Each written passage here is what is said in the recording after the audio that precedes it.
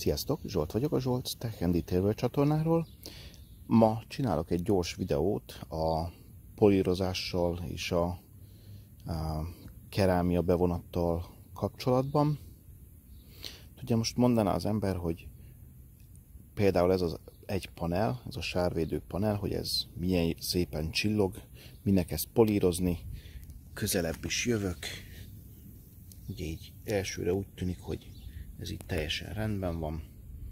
Amúgy a múltkor pont ezen már szórakoztam egy kicsit a polírozóval, de azért tegnap este összekarmoltam egy picit, ami most viszont nem látszik, mivel árnyékban vagyunk, de kiviszem a napra és ránézünk ott is.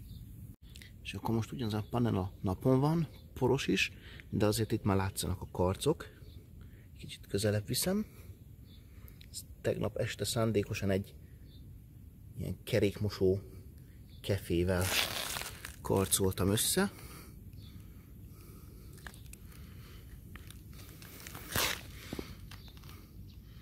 És mindjárt megmutatom egy ilyen vizsgáló lámpánál is, hogy mennyire karcos. Rengetegféle vizsgáló lámpa létezik, hát én most például pont ezt fogom használni, úgyhogy nyomunk rajta egyet, bekapcsol alul, Nyomunk rajta még egyet, és jó erősen bekapcsol ez is. És itt mindjárt látszanak is a karcok.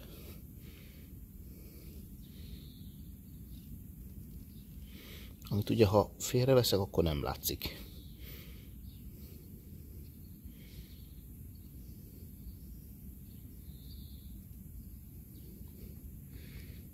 És ugye jó karcos. Úgyhogy ezen a panelen fogom bemutatni, hát értelemszerűen ezen az egy panelen teljesen ugyanolyan maga a művelet, mint az egész kocsin. Hamarosan remélhetőleg érkezik egy jármű is hozzám, amin majd be tudom mutatni a teljes gépjárműben, hogy hogy néz ez ki, de most jelen helyzetben um, csak ezt az egy panelt fogom megmutatni. Polírozásnál ugye nagyon fontos, hogy rendesen elő legyenek készítve a felületek, mert ha koszos, karcos, akkor több kárt okozunk, mint hasznot, ha nekiállunk ugye a polírozóval um, össze-vissza tapicskolni a felületet. Úgyhogy értelemszerűen először rendesen le kell mosni, ennek több fázisa van, és csak utána lehet polírozni. Én most jelen esetben ezt az egy panelt most így nagyon gyorsan le fogom mosni. Most épp az Armor All Shield nevezetű sampont fogom használni, olyat használtok, ami nektek szimpatikus értelemszerűen. Amikor le van mostva a kocsi, akkor um, érdemes megszárítani, és akkor utána lehet használni egy ilyen szállórosda eltávolítót. Erre ugye azt szokták mondani, hogy ez a vegyi fertőtlenítés része. Amikor ez kész van, Ja, igen, és akartam mondani, hogy ez például a Chemical Guys-nak a Dicon Iron Remover, de ebből is millió fajta van. Amikor ezzel kész vagytok, akkor ugye a vegyi fertőtlenítés után kell neki egy bogár eltávolítás, bogár és kátrány eltávolítás. Én most erre a Chemical Guys Bug and Remover-t fogom használni. Ha azzal megvagytok, akkor utána kell egy hát úgymond mechanikus fertőtlenítés, arra egy ilyen gyurma kell, ez éppen egy Chemical Guys gyurma, de megint csak olyat használtok, ami a szívetekhez közel áll, és amikor le is van gyurmázva, és le van minden mosva szépen, akkor hát attól függ, hogy kit hallgat meg az ember, valaki azt mondja, hogy ilyen, hát én úgy hívom, hogy ez a patikai izopropil alkohol, hogy azzal le lehet ugye zsírtalanítani a felületeket. Most ez lesz nekem ez az IPA feliratú, ugye az izopropil alkohol. Én igazából most nem fogom előtte használni, de valaki azt mondja, hogy használjátok minél többször. Azt érdemes ugye mindenképpen hideg panelen vagy hideg elemeken használni, mivel az alkohol ugye se perc elpárologhat belőle hogyha meleg panelre teszi az ember. A gyurmázáshoz Én most ezt fogom használni, ezt a kis um, flakont. Igazából én ebben most a Armor All um, Shield sampont tettem, de lehet erre kapni speciális ilyen gyurma kenő szereket, használhattok sima konyhai mosogatószert, bármit, ami jól síkosít. és uh, még itt van egy ilyen flakonom, amiben csak sima desztillált víz van, ebbe pedig, most erre pedig azért lesz majd szükségem, hogy uh, úgymond hűtést biztosítsak majd a um, polírozó szivacsnak, de ne rohanjunk még ennyire előre, most gyorsan lemossuk ezeket a kendőket, meg minden, majd mindjárt bemutatom, amiket használni kell, vagy illik. De persze azokból is olyan típusút, olyan színűt és olyan méretűt vesztek, ami a szívetekhez közel áll. Ennek a panelnek most teljesen mindegy, úgyhogy nem leszek annyira finom vele, hogy minél gyorsabban meg tudjam csinálni a videót. Értelemszerűen, ha kocsitokról beszélünk, akkor előbb öblítsétek le, vagy magas, magas nyomásúval, vagy csak simán a slagból oda bízom. És amikor le van öblítve, akkor lemossuk. Ez éppen egy Tesco gazdaságos uh, ilyen kendő.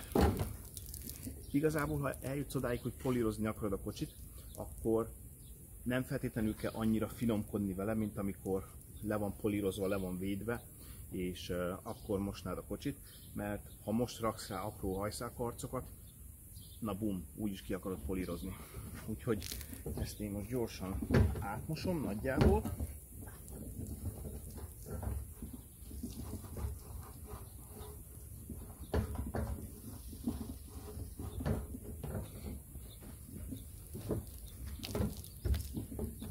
És amikor le van mosva, akkor ugye leöblítem.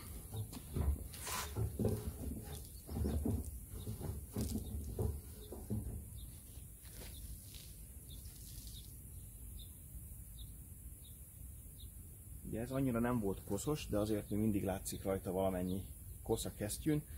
Múltkor szórakoztam ezzel a panellel, polírozgattam, és utána bent volt a garázsban, és csak por rakódott rá. Nem kerítünk most nagy feneket a dolognak, gyorsan leöblítem a kerti locsolóval,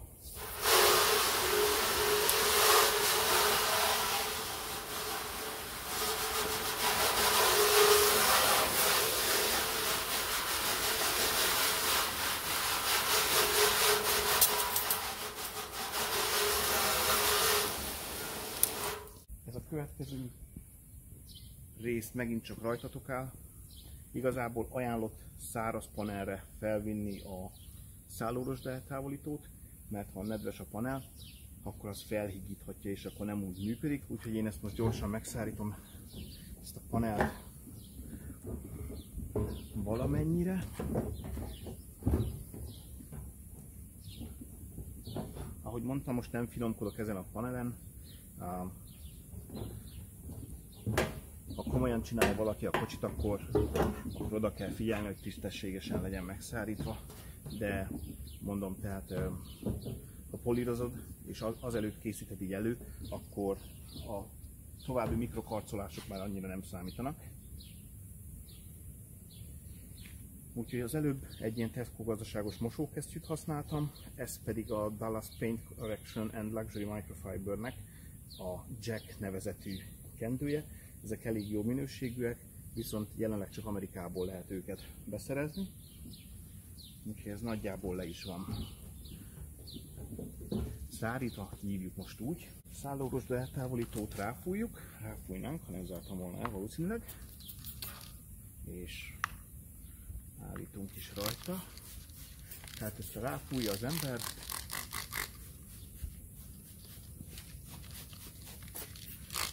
és hagyod állni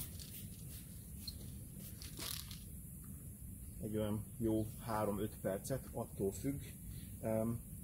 A szálló rozsda eltávolított semmiképpen sem érdemes közvetlen napsütésbe vagy tűző napon csinálni, hanem vagy árnyékba, vagy um, például garázsba, csak akkor tudni kell, hogy ez a jó kis vegyszer a mindenféle leoldott szállórosdával együtt, ez akkor a padlón lesz, és jó esetben még foltot is hagy rajta, amit utána nem feltétlenül tudsz kivenni belőle. Úgyhogy én azt mondanám, hogy inkább ezt egy külső részen, és lehetőleg árnyékba, tehát vagy kora reggel, vagy késő este csinálja az ember, valamint nagyon büdös, szinte minden ilyen szállórosba eltávolító piszkosul büdös, úgyhogy ezért is érdemes szabad térbe használni, vagy és vagy eh, valamiféle ilyen szűrőmaszkot feltenni. Itt is vannak különböző módszerek, valaki fog egy e, ilyen mosókesztyűt, és akkor azzal átmosogatja, hogy minél több felületet érjen. Um, én nem szoktam, én csak hagyom, hogy rajta legyen, dolgozzon, lemosom róla, és utána úgyis jön a gyurmázás. Úgyhogy most hagyjuk egy kicsit állni. Értemszerűen ezt most nem fogom végigmutatni, hogy hogy áll rajta x percig.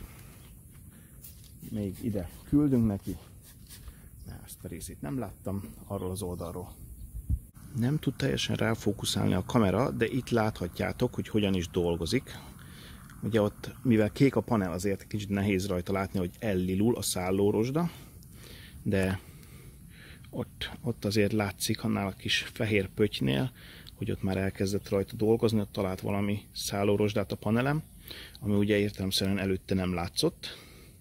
Tehát ahogy mondtam, itt igazából lehet egy kesztyűvel mosni, lehet ecsetelgetni, ki hogy szeretné, én nem szoktam, na de hát oda bízom. Úgyhogy akkor most kap egy gyors öblítést,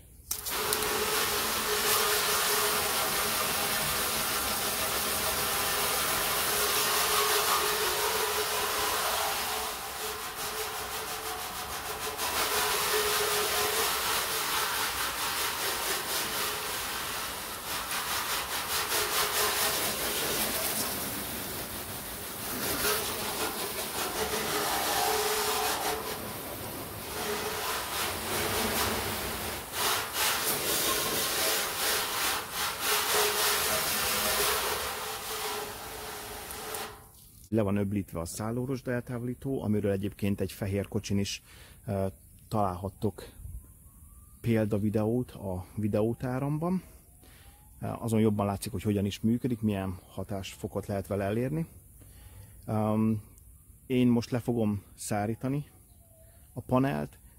Itt is megint te döntöd el, hogy meg akarod-e szárítani, vagy nem, mert a következő lépésbe ugye kap egy ilyen kis bogár eltávolítós és kátrány eltávolítós szert. Én most a vicc kedvéért megszárítom, de oda bízom.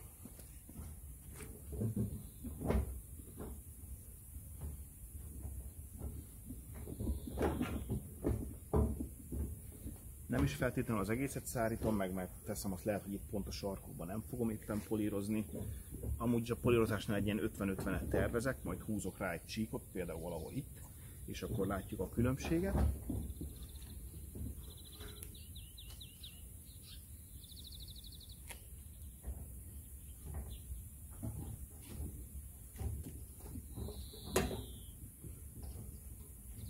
Tehát szállórosdáról, bogár eltávolításról van másfajta videóm, ezt nyugodtan megkonzultálhatjátok ebbe a témában.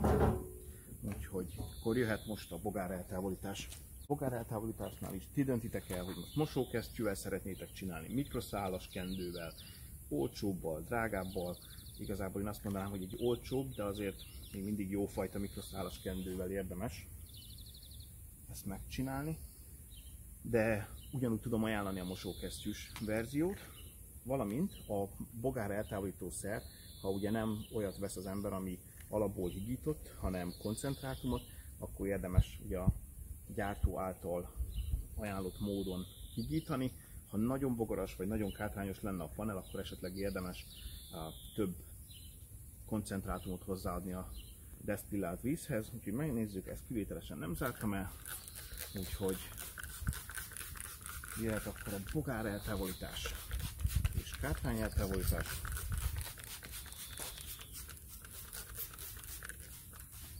Most ez sem lesz olyan hajde profi, csak hogy lássátok nagyjából, hogy hogy működik.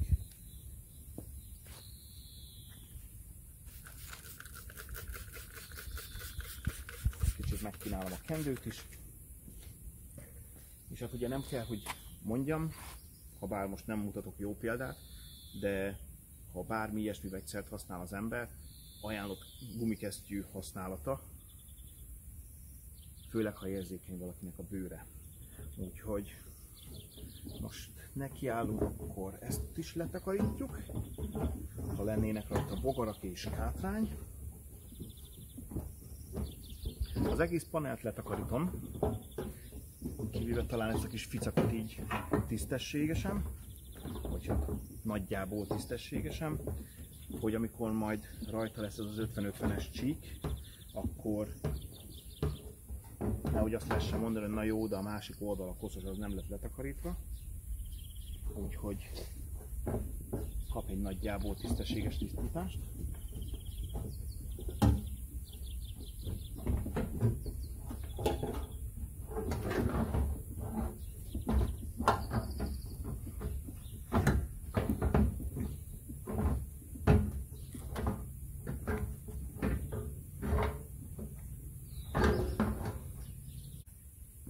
És jöhet a hátrányos bogár eltávolítónak is a leöblítése.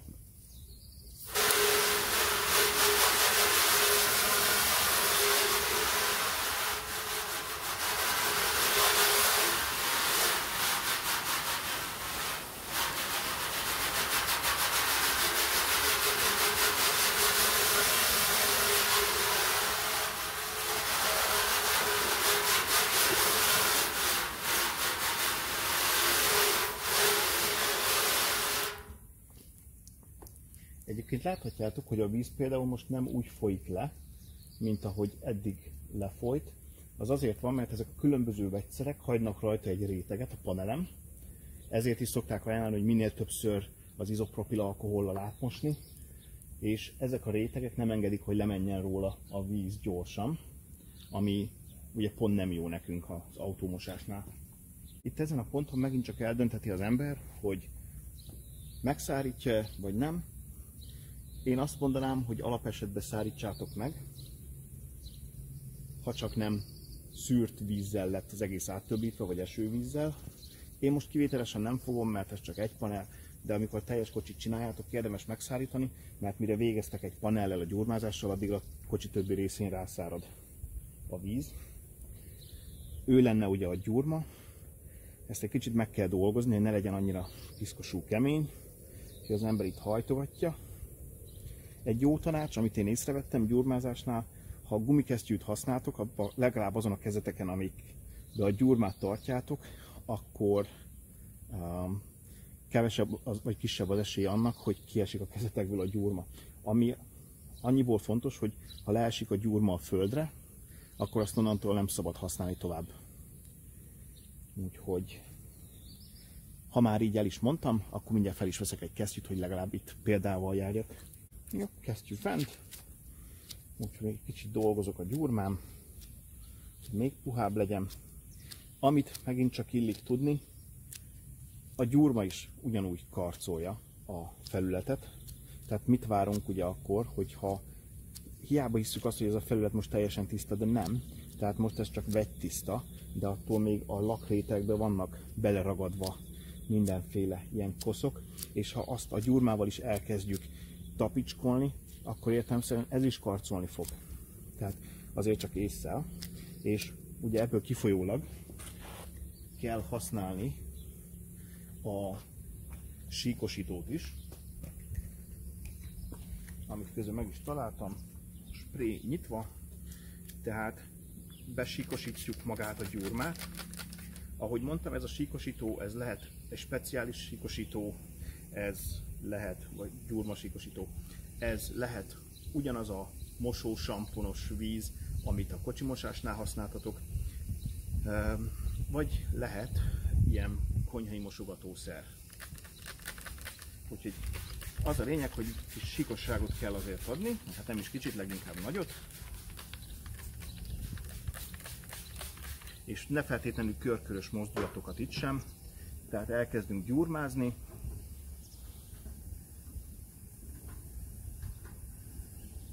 általában lehet érezni, hogy meddig kell csinálni, amikor már szépen siklik, akkor lehet menni tovább.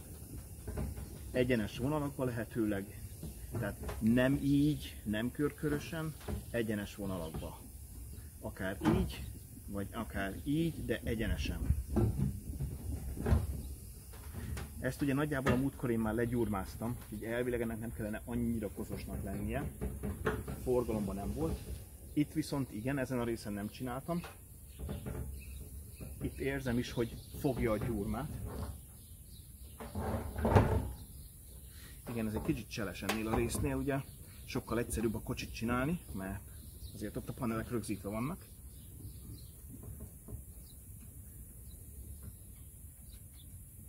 Itt például hallom, hogy van benne valami, meg látom is, azt a kis fehér pöttyöt. Ez nem valószínűleg van olyasmi, amit ki fog hozni a gyurma.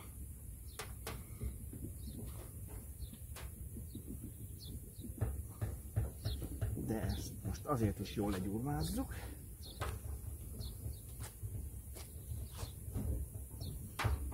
Értelemszerűen néha utána kenünk,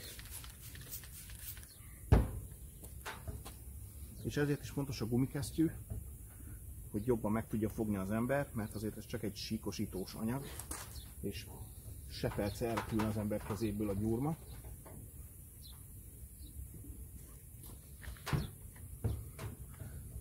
Úgyhogy, tehát ez így nagyjából megvan, ez a része nagyjából megvan, akkor még itt adunk neki egy kicsit.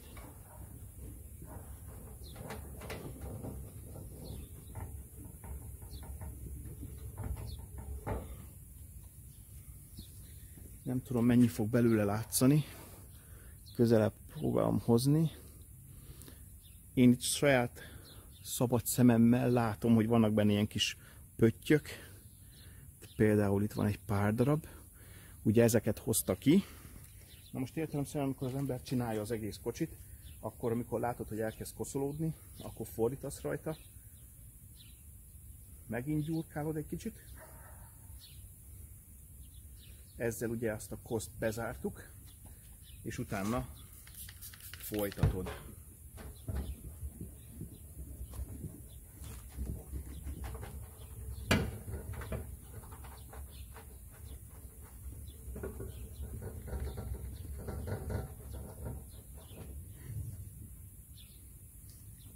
És ezt ismétled az egész autón. Értelemszerűen ezt is lemossuk.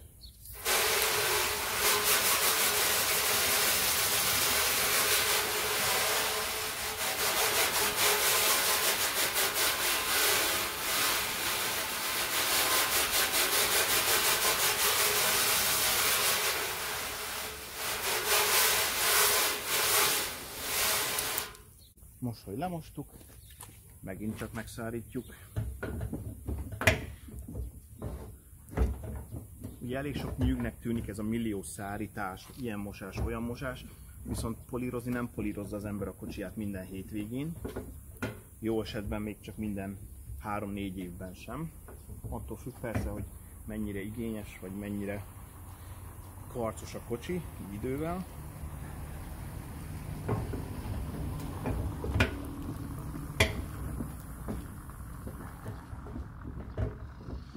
Akkor nagyjából egyébként meg is érthetitek, hogy miért kérhetnek el annyit a prók, ugye egy polírozásért, mert ha tisztességesen megcsinálják, nem csak az, hogy gyorsan áttöbbíti vízzel, megszárítja, aztán utána neki esik a polírozóval, akkor ez egy nagyon hosszú és költséges folyamat, a mindenféle vegyszer, kendők és mi egymásnak a használata. Úgyhogy, na hát ezt most hívjuk úgy, hogy meg van szárítva. Tehát ugye, ha innen megnézi az ember, akkor megint lehetne mondani, hogy tiszta nem normális, ez minek akarja polírozni, hát nincsenek semmi baja. Most ugye az árnyékban vagyunk, nem látjuk, meg ezen a részen szép fényesnek is tűnik, de kicsit közelebb hozlak benneteket, és itt a fénybe szabad szemmel látszik, hát nem tudom most a videó mennyit fog belőle visszaadni, de tele van karcokkal.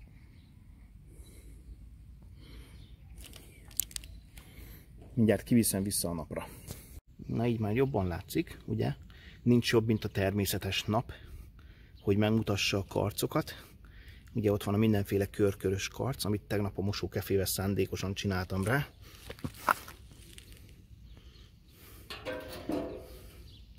Ugye így látjátok, ott vannak rajta a karcok. Már fel is tettem egy ilyen csíkot, úgyhogy a bal oldali részt azt nem fogom polírozni, a jobb oldalit fogom. Van ugye többfajta polírozó berendezés is. Vannak a hagyományos, ugye, mint egy flex, úgy tudnám őket leírni, ugye körkörösen forog folyamatosan, nem mozog el egyik irányban sem, ezek a hagyományos polírozógépek, valamint vannak ezek az ilyenfajta polírozógépek, ezek ilyen excentrikusak, tehát ugye nem csak forog, hanem van neki egy ilyen orbitális mozgása is. Ezekből is van olyan, ami kicsit mozog, nagyot mozog. Igazából, főleg ha valaki kezdő, érdemes ezeket a excentrikusokat használni, hogy ne égessük meg vele a lakkot vagy a festéket, leginkább a lakkot. Valamint egy jó kis csel, egy alkoholos filccel, ha megjelöli az ember, akkor lehet látni, de majd ezt meg is mutatom a videón, lehet látni, amikor túl sok nyomást helyezel a gépre, és ugye nem forog a, a szivacs, a polírozó szivacs, vagy a polírozó korong, akkor ugye látod a csíkokat. Tehát alapból nem lenne szabad látnod a csíkot. Ha elkezded látni a csíkot, akkor fel kell engedni a nyomásból. Tehát ezek a gépekkel kapcsolatban polírozó korongokból is van sokfajta, ez például egy éppen sérült a panelen, amit majd most megmutatok. Azon volt egy sérülés, és az szétmarta, de a vicc kedvéért majd most ezt is használjuk. Tehát ez egy ilyen hagyományos, ilyen közepes sárga korong.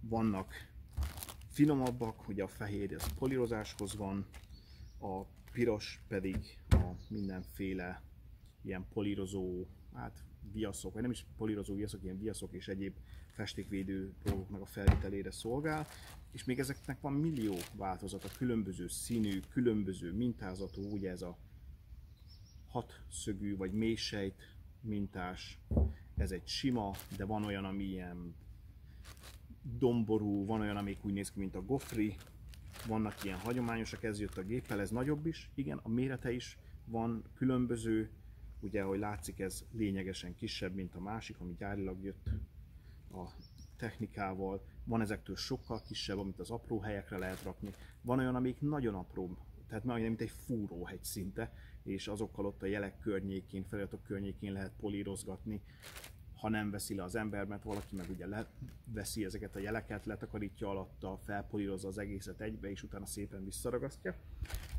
Az már tényleg a professzionális szint. Valamint van ezekből is ilyen mikroszálas, meg gyapjú polírozó korong, azt megint csak ugye a professzionális emberkék szokták használni. És hát magukból a polírozó szerekből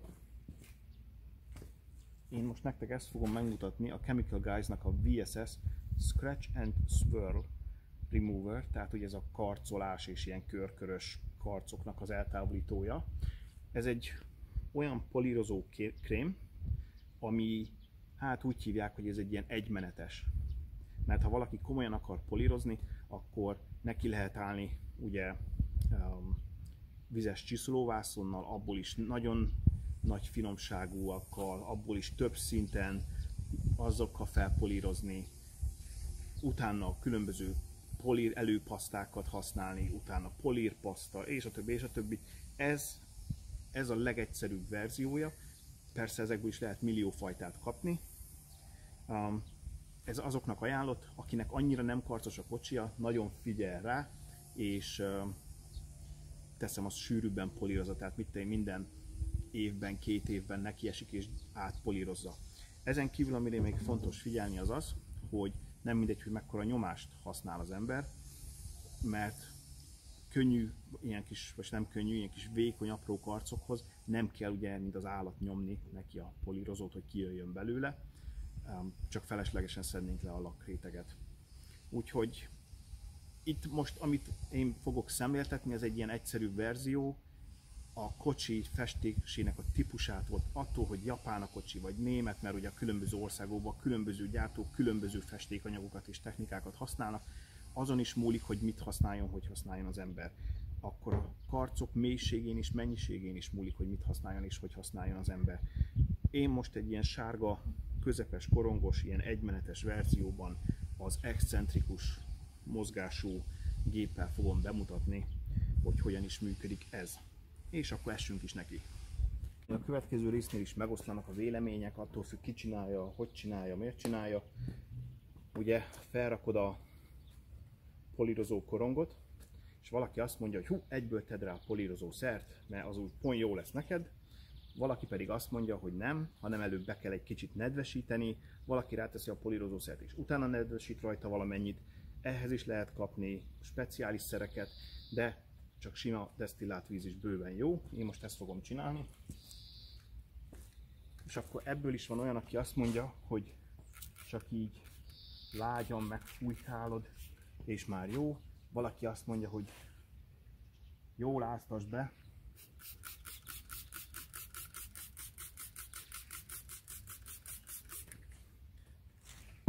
és utána csapast ki a géppel belőle, hát mi most ezt fogjuk csinálni, csöpög belőle a víz, most kicsapatjuk. Úgyhogy hát fel, lehetőleg azért ne a panelre, úgyhogy most ezt így oldalra fordítva fogom.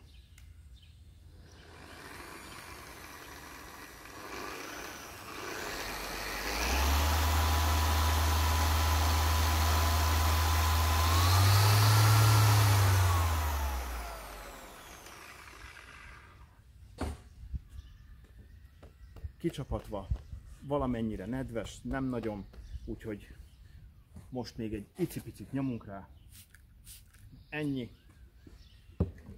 de ez megint csak ugye mindenkinek az egyéni preferenciája.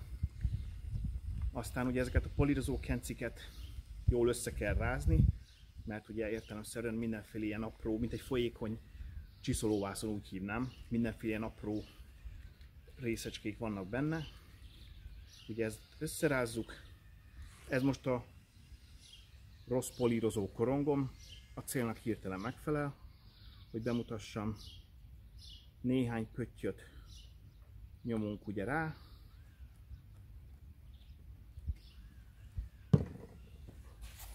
és akkor csak ezt a részét fogom csinálni. Először ugye csak ugye eltapicskoljuk.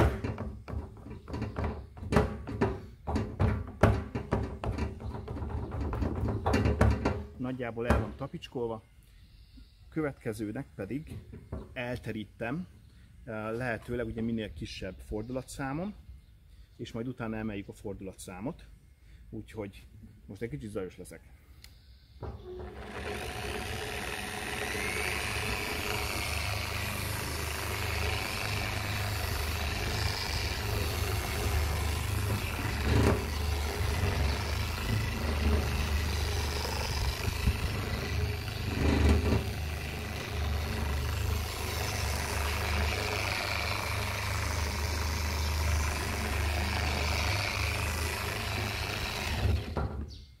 Jó, hát ahogy látjátok, ez így nagyjából el van rajta terítve, és akkor most jöhet az, hogy nagyobb fordulatszámon nekiáll az ember, és akkor jöhet a polírozás része. Érdemes minél kisebb részletekben csinálni, tehát nem nekiállni és mit tudom, egy egész motorháztetőt egybe lepolírozni, hanem lepolírozza az ember, teszem azt a hatodát, utána még egy hatodot, még egyet, még egyet, még egyet, még egyet. Um, ez most egy kis panel, ezen annyi gondom nem lesz. Valamint a technikák, tehát ahogy mondtam, ezeknek a gépeknek általában van súlyuk, és azt szokták mondani, hogy ha könnyű karcolások vagy finom karcolások vannak a panelem, akkor elég, ha csak ráteszed a gépet, és ennek ugye van egy súlya, ez már ad neki egy bizonyos nyomást, és onnantól kezdve csak bekapcsolod, és akkor szépen követed. De ugye vannak ezeken különböző tartók, van, amiket felül kell tartani, valamiket elő kell, valamiket oldalt kell, kinek mi a kényelmes. Én ezt tartottam kényelmesebbnek, viszont jelen pillanatban nem fogom majd tudni így tartani, mert fognom kell a panelt is. Úgyhogy én most a szép, könnyű karcos, egykezes megoldást fogom kipróbálni. Meg, hát, hát, ha sikerülni fog megmutatni nektek, hogy mennyi karcot tudunk vele így eltávolítani. Úgyhogy essünk is neki. Tehát felviszem a fordulatot, nem a legmagasabbra, mert annyira nem kell, ez annyira nem karcos. Ez megint csak ugye a karcok mennyiségétől, mélységétől és mi egymás függ. Úgyhogy essünk is neki.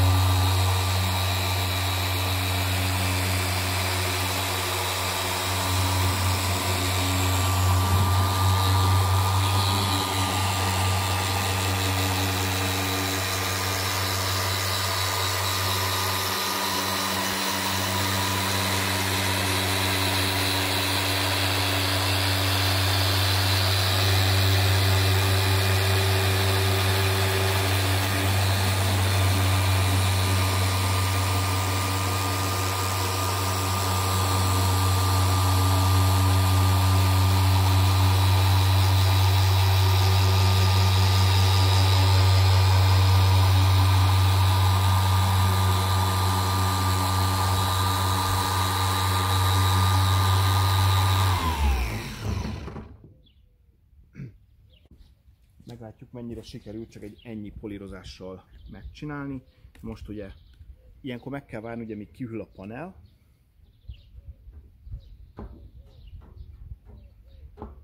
Ezen a részen egy kicsit erősebben nyomtam, itt valamivel melegebb, de, de ti várjátok meg, míg lehűl a panel.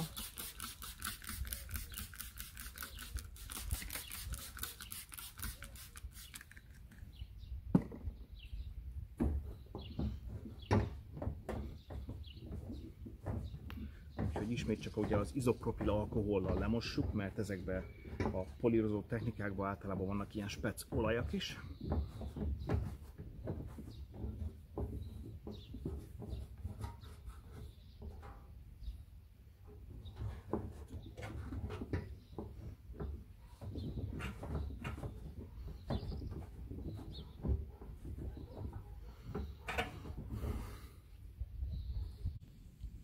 Jó, hát még éppen egy kicsit van rajta az alkoholból. Meg kell várni, azért még szépen megszárad, de hogy nagyjából megmutassam így a fényen. Tehát azt látjátok, hogy ugye ez, ez az oldala, ami nem lett polírozva, ez a karcos, ez pedig a már polírozott oldal. Még itt is vannak karcok, mert azért, ahogy láttátok, annyira hű, de haj, de nagy mélységeiben menően nem csináltam. Tehát ott, ott még így látszik, de azért, azért már lényegesen jobb lett. Hát azok a csíkok ott éppen a száradó izopropil alkohol és az olajak, amiket nem mostam le rendesen. De azért lényeges a különbség. Tehát itt, itt romonkarcos, itt azért már nem annyira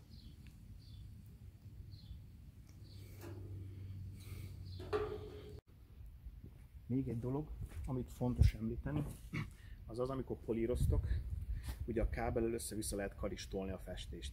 Na most ez annál a résznél, ami még nincs felpolírozva, nem feltétlenül okoz nagy gondot, mert úgyis polírozzátok, meg azért nem marja rommá, ugye a jó kis műanyag vagy gumikábel, de ha jót akartok magatoknak, akkor értelemszerűen a kábelt át kell dobni a vállon, ugye kb. így, és akkor tudjátok kontrollálni, hogy hova megy. A kábel akkor mindig mögöttetek van, a kocsitól el. És akkor úgy lehet.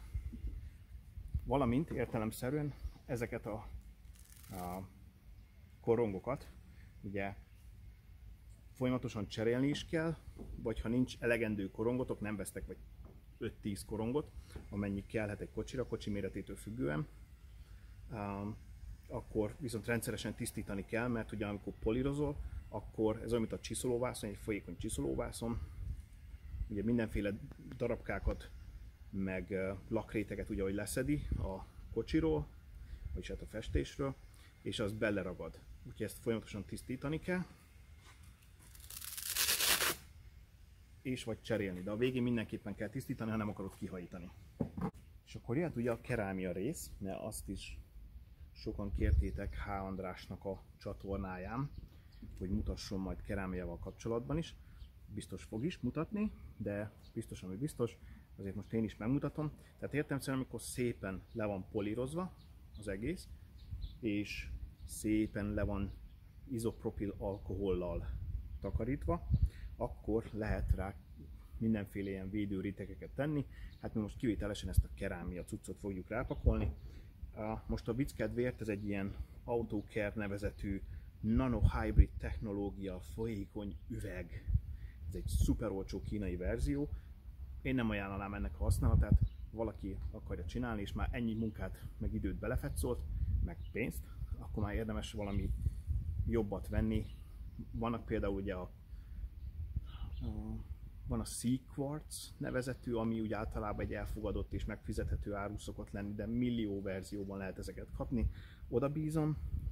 Ez a kis kínai verzió, ez jött egy ilyen szórófejjel is. A szórófej, hát az értelemszerűen már beállt. Valamint, amit még tudni kell, hogy ugye amikor ezt a kerámia anyagot felvisszük, ennek is ugye több módja van. Valamelyik csak fel kell vinni sprével, le kell löbbíteni vízzel, kétségeim vannak azok felől. Van, amiket fel kell vinni, mikroszálas kendővel el kell kenni, szárazkendővel lehúzni, már az valamivel jobban hangzik.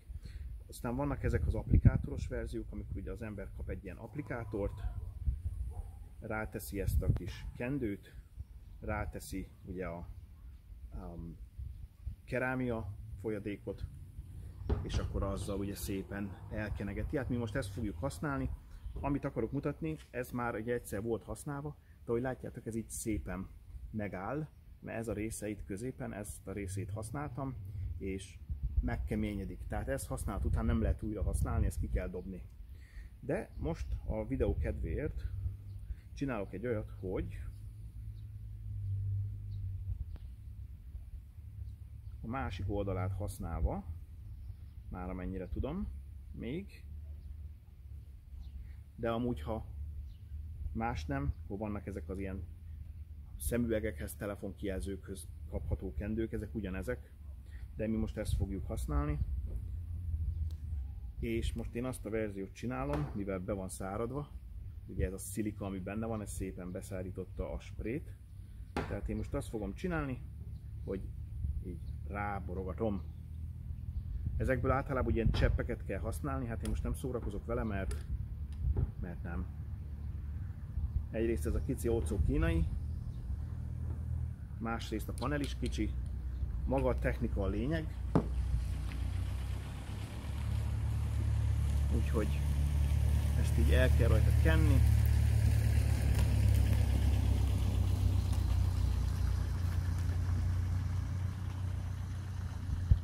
Majd a másik irányba is.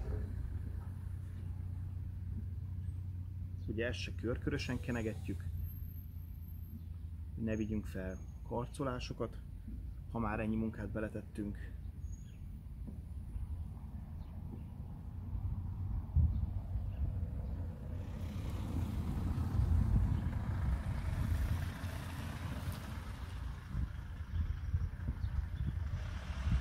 Ugye maga a technika az megint függ esetleg attól is, hogy milyen kerámia bevonatot használ az ember. Nem mutatom most végig, igazából ez az egész.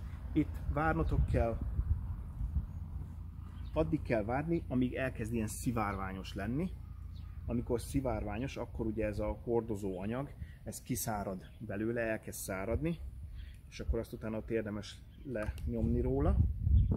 Amit tudnotok kell, hogy ugye egy mikroszálos kendővel kell azért így leszedni a felesleget róla, e, viszont arra is számolni kell, hogy ugyanúgy, mint ez a fajta kendő, hogy a kukába kerül, így az a mikroszálas kendő is a kukába fog kerülni, úgyhogy most a videóért beáldozom, ez amúgy is már egy ilyen használtabb, régebbi, olcsóbb mikroszálas kendő, de értelemszerűen, amikor két évente egyszer az ember például felvisz egy ilyen kerámia bevonatot, akkor érdemes megfontolni, hogy vesz egy tisztességesebbet, de nem feltétlenül a legdrágábbat mikroszálas kendőt, és azt használja. Én itt már látok ilyen szivárványosodást, de a panel többi részén még nem annyira, úgyhogy még várok egy kicsit.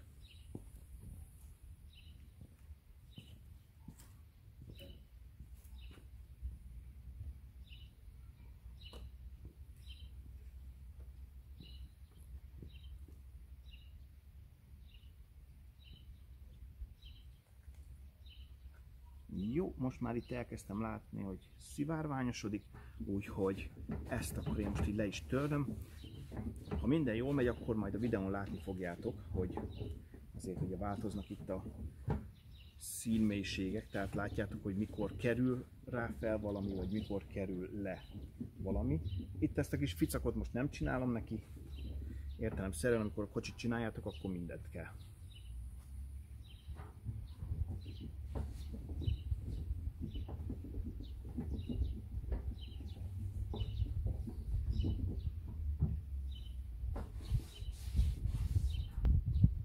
Értelemszerűen a kerámia bevonatot is kesztyűvel kell felvinni, mert azért csak van benne ugye szilika, és biztos, hogy biztos. Valamint, amikor kész vagytok ezzel a kerámia bevonattal, hát ez most megint csak a kerámia bevonat típusától függ. meg hát valószínűleg ilyenektől, hogy levegőpára tartalma, hőmérséklet, és a többi, és a többi. De az a lényeg, hogy ezeket állni kell hagyni, úgyhogy típustól függően valamelyiket csak teszem azt 4 óráig, valamelyiket 8 óráig, valamelyiket 10, 12, 24, akárhány óráig. Ez ugye mindig le van írva, hogy mennyi az annyi. Ugye amíg teljesen meg nem köt, úgymond, addig semmiképpen se szabad, hogy víz érje. Hát én most egy kicsit lusta vagyok, úgyhogy mivel meg akarom mutatni, hogy mi a különbség a kerámia bevonatos oldala és a sima oldala között, ezért én most ezt szépen le is lacsalom.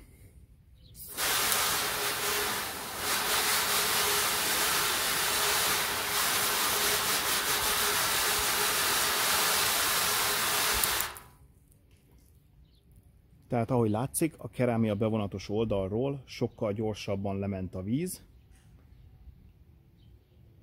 viszont azt is tudni, viszont azt is tudni kell a kerámia bevonatokról, hogy fogékonyabb ugye a vízfoltokra, ezért rendszeresen kell ezeket is karban tartani és letörölgetni ezeket a vízfoltokat. Hát ez itt a kerámia bevonatos oldal, ugye ezen is vannak azért vízcseppek, de értelemszerűen, hogyha a panel függőlegesen állna, nem vízszintesen, akkor gyorsabban lefolyna róla, de persze ugye akkor a tető, motorháztető és csomagtartó az vízszintes felületek általában, nagyjából, azokon így megállna. És a nem kerámia bevonatos részem pedig látszik, hogy sokkal több víz áll meg. Tehát ez a nem ez a bevonatos, ez pedig a nem bevonatos része. Így a végére még megmutatnám, hát most nem szállítottam még le a panelt, majd a nap megszállítja, mert az előbb használt rongyot már jó kidobtam, és egy másikat nem akarnék hirtelenjébe, de hogy nagyjából lássátok, és remélhetőleg a kamera is érzékeli majd, tehát azért látszik, hogy hol volt polírozva, és hol nem. Ugye most levettem azt a csíkot, és akkor látszik így a ragasztónak egy kis maradványa, és akkor ugye attól balra van a nem polírozott, jobbra a polírozott része. Jó, rendben. Hát szeretném megköszönni akkor a figyelmeteket. Ha tetszett a videó, akkor iratkozzatok fel a csatornára, és nyomjátok meg a like gombot, és osszátok is meg a barátaitokkal ezt a videót. Hamarosan majd egy teljes kocsi polírozást is be fogok mutatni. Köszönöm a figyelmeteket, sziasztok!